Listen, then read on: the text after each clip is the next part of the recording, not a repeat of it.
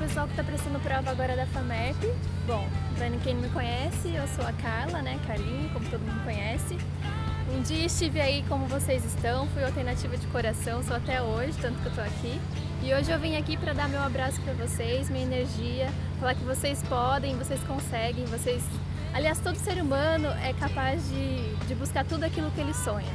Se o seu sonho está aqui dentro, aqui na nossa verdinha do interior paulista, seja muito bem-vindo, faça uma ótima prova e eu tenho certeza que vocês vão conseguir tá bom? Qualquer coisa me escrevam, me mandem o que vocês quiserem para conversar comigo, estou à disposição.